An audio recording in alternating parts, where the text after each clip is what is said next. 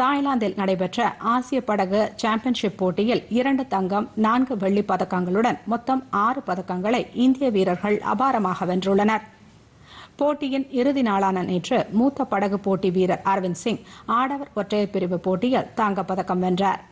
லகுரக ஆடவர் இரட்டையர் பிரிவு போட்டியில் இந்தியாவின் ஆஷிஷ் புகத் மற்றும் சுக்ஜிந்தர் சிங் அடங்கிய அணி வெள்ளிப் பதக்கத்தை வென்றது.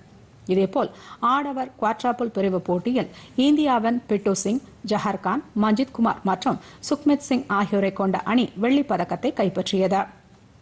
இதேபோல் ஆடவருக்கான மற்றொரு பிரிவு போட்டியில் இந்தியாவின் ஜஸ்வீர் சிங் புனித் குமார் குர்மித் சிங் மற்றும் சரண்ஜித் சிங் ஆகியோரை கொண்ட அணி வெள்ளிப் பதக்கத்தை கைப்பற்றியது.